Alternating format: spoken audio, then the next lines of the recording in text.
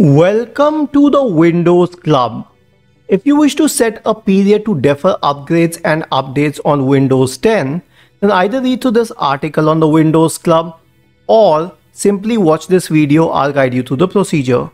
First of all, to defer the upgrades for up to a week or up to a month, simply click on Start, select Settings, scroll down to Update and Security, go to the Windows Update tab, let it load, you'll find an option to pause Windows updates for up to 7 days and in advanced options up to 30 days or even a little more.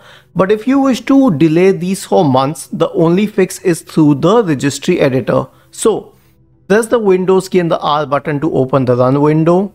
Type the command regedit and hit enter to open the registry editor window. Now navigate to the key H key local machine software policies Microsoft Windows. Then you would have to create a sub key. I'll show you what it would be like. It would be Windows Update. I'll copy this. I'll go to the registry editor window, right click on Windows, new key, and this is the name. I'll hit enter.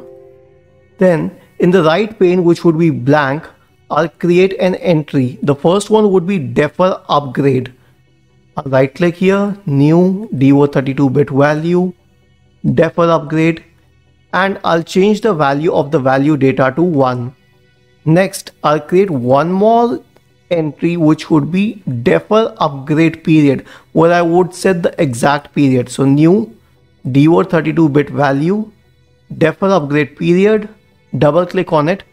To defer it for 3 months write 3 defer it for 4 months write 4 you may not be able to go above 4 so 4 would be the maximum.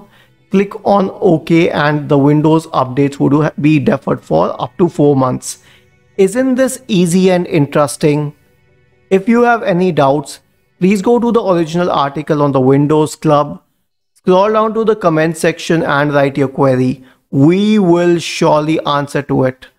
Do not forget to subscribe to the channel Thank you for watching this video and have a nice day.